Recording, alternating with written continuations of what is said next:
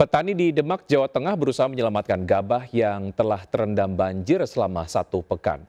Banjir di Demak mulai surut, namun di sejumlah kawasan permukiman masih terendam air hingga setinggi satu meter.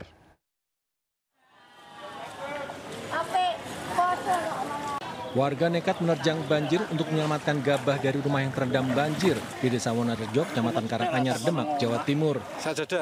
Sujak Subadi bersama anak-anaknya mengangkut karung-karung berisi gabah dengan pelampung ban dalam truk.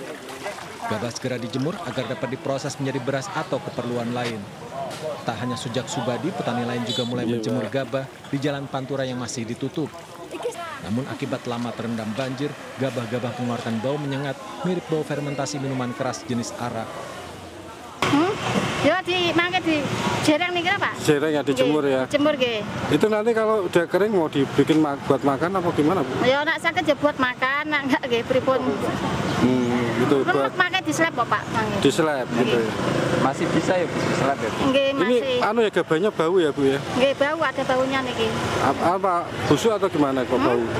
Ya paling ya anu Pak, remek mungkin lho Pak. Anu, ban ada berapa sak di rumah, Mbak? 12 12 sak. Ini sudah bau semua ya, Mbak? ya udah udah basi itu dilihat Ini rencana mau mau dijemur, mau buat apa nanti, Pak? ya ntar kalau bisa makan dimakan kalau udah bisa ya udah gimana caranya gitu loh Oh gitu, Berapa Mbak. hari udah mbak? mulai kemis Ribuan petani di Demak terdampak banjir. Iya, hitam semua. Hasil panen terendam banjir hingga terancam rusak.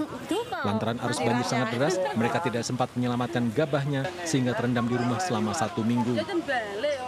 Mereka berharap setelah gabah dijemur dan dislep tetap bisa dimakan, setidaknya dapat menjadi pakan ternak. Dari data pertanian Kabupaten Demak, dampak banjir telah merendam areal pertanian seluas 1.200 hektar. Rata-rata usia padi sudah mencapai dua bulan. Meski banjir mulai surut, tinggi air di kawasan permukiman masih mencapai 1 meter atau setinggi pinggang orang dewasa. Dari Demak, Jawa Tengah, Sukma Wijaya, iNews melaporkan.